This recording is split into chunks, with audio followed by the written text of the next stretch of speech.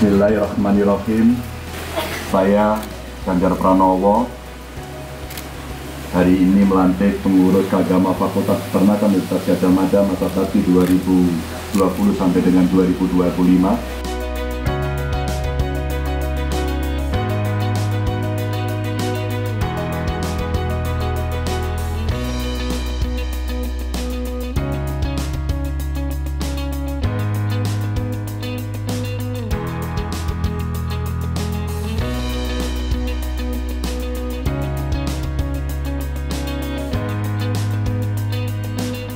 Kami ucapkan banyak terima kasih kepada Bapak Ketua uh, Umum BP Kagama.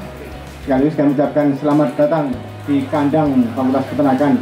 Kami ucapkan selamat kepada pengurus yang telah dilantik dan mudah-mudahan kita bisa turut berpartisipasi membantu mengembangkan dan juga aktif di ke- keorganisasian uh, BP Kagama ini dalam rangka memberikan kebaikan, kemanfaatan serta uh, syukur kebahagiaan dengan berbagai pihak di mana kita berinteraksi.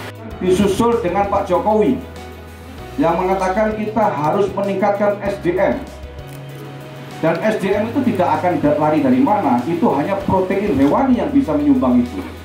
Tapi kita tidak pernah diperhatikan secara khusus. Tidak pernah itu. Nah apa itu masalahnya bahwa konsumsi protein hewani di Indonesia itu sangat-sangat rendah dibanding dengan negara ASEAN. Supaya Bapak ketahui dari seluruh peternakan yang ada di Indonesia tenaga kerja itu tidak kurang dari 3,7 juta tenaga kerja secara langsung. Kalau sudah dengan family dan dengan multiplier efeknya itu sudah puluhan juta yang eh, berdasarkan tenaga kerja langsung di peternakan.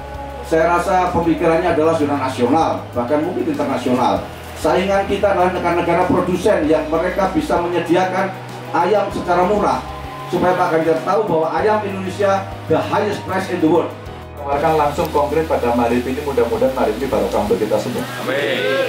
Demplotnya Jateng aja. Bagaimana demplotnya di Jateng itu kita bisa bikin telurnya itu diproduksi turah-turah, harganya murah. Bagaimana daging bisa diproduksi turah-turah, harganya murah.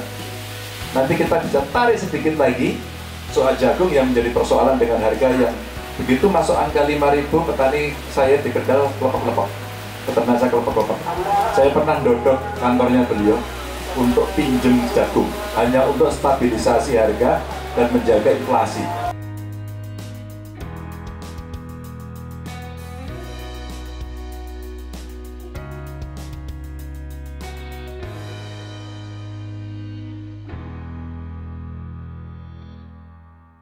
Pertama, nanti akan ada rapat pengurus dulu untuk menyusun program kerja. Yang jelas tadi Ketua Umum Kap, eh, telah menyampaikan bahwa kita harus bermanfaat bagi negara. Sedangkan sekarang ini peternakan itu menjadi primadona seharusnya. Dan kemudian Pak Jokowi sebagai presiden saat ini juga menyoroti tentang peningkatan sumber daya manusia dan adanya stunting yang begitu tinggi. Nah ini tidak lain dan tidak bukan harus kita merubah sikap dan pemikiran mindset untuk meningkatkan konsumsi protein hewani untuk kecerdasan peningkatan SDM kita.